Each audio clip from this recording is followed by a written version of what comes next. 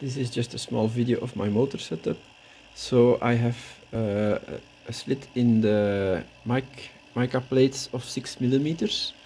But as you can see with very low speeds um, I'm running now at 2.5 volts. So that is not much for the motor. The 5 volts is for the infrared sensor that you see over there. And there is a laser pointer uh, shining through. Um, but as you can see I only have 500 microseconds at the moment.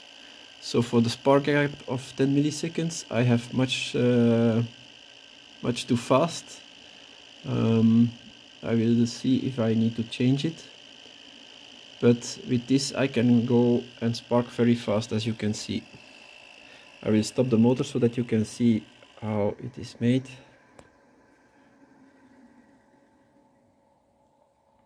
So these are the openings inside, they are 6 millimeters approximately wide.